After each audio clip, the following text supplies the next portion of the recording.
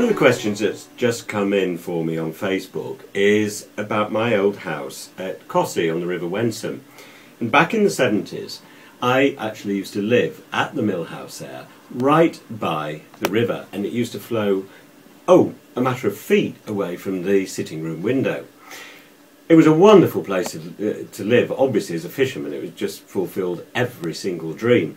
But there's one story that always sticks out in my memory, and it, I think it's a cracker. It was the 1979 Cup final, and Manchester United were playing Arsenal. And at three o'clock, just as the game kicked off, I looked out of the window and I saw this super chub. It was a real cracker swimming around outside.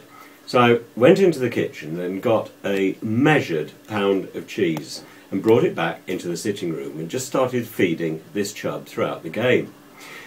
By the 90th minute, and Manchester United, I think, were just pipped at the post. I think we came back from 2 0 down to 2 2 and then lost 3 2, something like that, but I was pretty anguished by it. The chub had eaten the entire pound of cheese.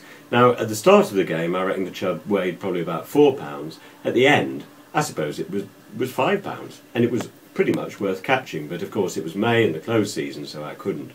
So, anyway, my answer to this question is yes, if you can buy an old mill house on the River Wensum, yeah, I'd go for it.